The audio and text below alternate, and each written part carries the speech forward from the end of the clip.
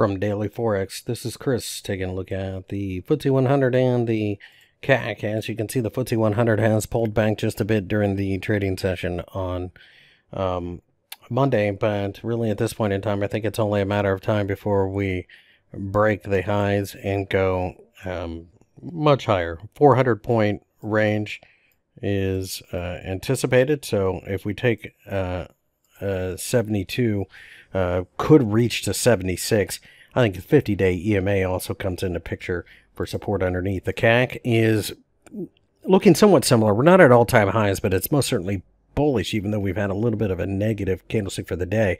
50 day EMA coming in. We recently had cleared this area. I think it's going to be a grind higher and then an eventual attempt to get to the 7,000 handle.